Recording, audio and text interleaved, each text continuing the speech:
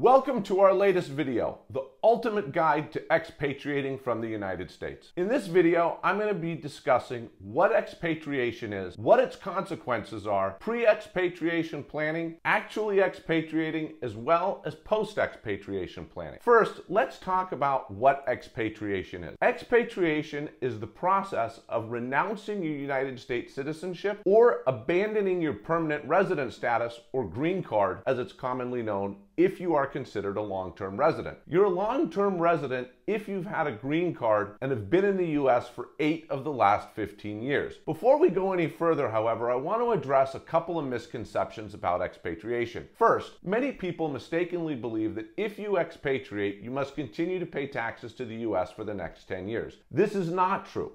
Under the old expatriation rules, you had to continue to pay tax in the US as if you were still a U.S. citizen or resident in any year you spent more than a month in the U.S. This rule was changed in 2008 to the ones we'll be discussing today. Second, many people mistakenly believe that expatriating will make their old tax problems or compliance failures go away. They won't. You continue to be liable for any tax obligations that arose while you were still a citizen or permanent resident. So, what are the consequences of expatriation? There's different types of consequences. There's the tax consequences, and the other we'll call them legal consequences. I'm not going to go into the tax consequences in detail because I have another video on that. I'll put a link to my expatriation video in the description. The short version is there's are covered expatriates and non-covered expatriates. You want to be a non-covered expatriate because covered expatriates are subject to an exit tax, which is basically a mark-to-market capital gain tax on your unrealized gains. And if you have U.S. heirs or recipients of gifts from covered expatriates, they'll be subject to gift or estate tax at the highest rate currently in effect, which is 40%. Non-covered expatriates can expatriate without these tax consequences, which is why it's better to be a non-covered expatriate. If you're interested in finding out if you're a covered expatriate or not, we've developed a helpful expatriation tax calculator tool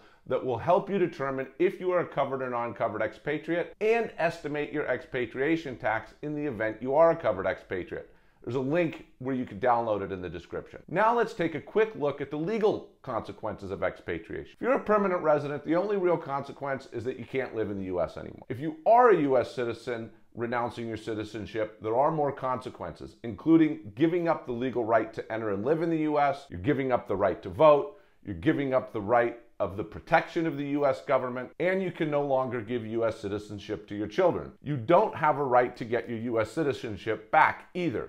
You can get it back, but you have to go through the process like any other foreigner would have to go through. So the first thing you have to do is pre-expatriation planning. And this is figuring out should I expatriate or not? And I actually created a video called Should I Expatriate? And I put a link to that in the description below. This will give you some things to think about and help you decide if expatriation is right for you. Second, you need to determine if you're a covered expatriate or not. If you are, you need to engage in some pre-expatriation tax planning to see if you can get classified as a non-covered expatriate so you can avoid the exit tax as well as estate and gift tax consequences for your heirs and donees. I have a video called Expatriation Planning, Getting Out Without Getting Killed on Taxes. Again, link in the description. If you like our content, please don't forget to subscribe to our YouTube channel by clicking that subscribe button. We'd really appreciate it.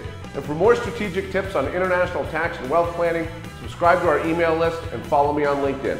Links below. Once you've determined that you want to expatriate and have done your, your pre-expatriation planning, it's time to actually expatriate. If you're a permanent resident, the process is pretty simple. You just need to fill out Form I-407 and mail it to the address in the instructions. If you're a citizen, renouncing citizenship, the process is a bit more involved. The first thing you need to do is get an expatriation appointment at a U.S. embassy.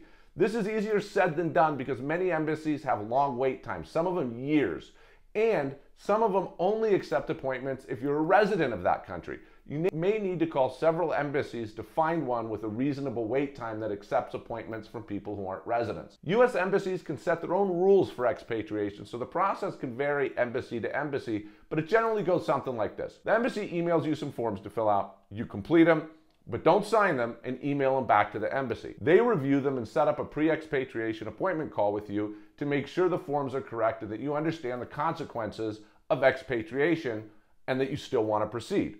Once your formal expatriation appointment is set, you go to the embassy, you meet with a consular official, sign the forms, pay the fee, which is currently $2,350, and then they generally give you copies of the countersigned form.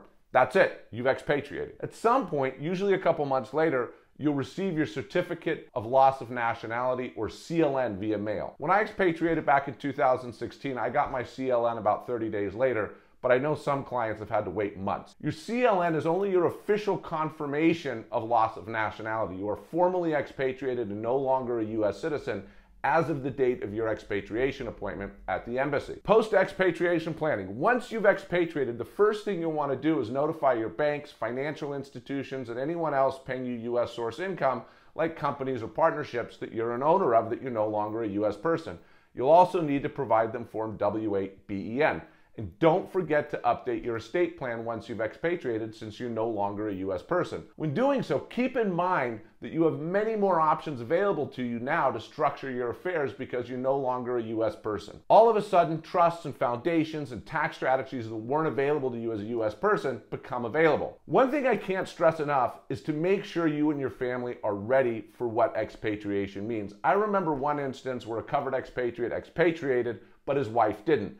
After a few years of living abroad, the expatriate was enjoying his life as an expatriate, but his wife didn't like living outside the US and wanted to go back. She threatened divorce if they didn't move back to the US. The guy had to get a green card by investing in an EB5 program through a qualifying investment. So after paying substantial exit tax, this guy had to invest money to get a green card, move back to the US, and start paying taxes on his worldwide income again. The point is, make sure you really want to expatriate and your family's on board. So there you have it.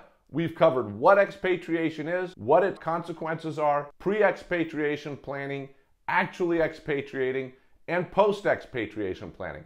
I hope you found this video useful and don't forget to subscribe so you don't miss any of our other informational videos.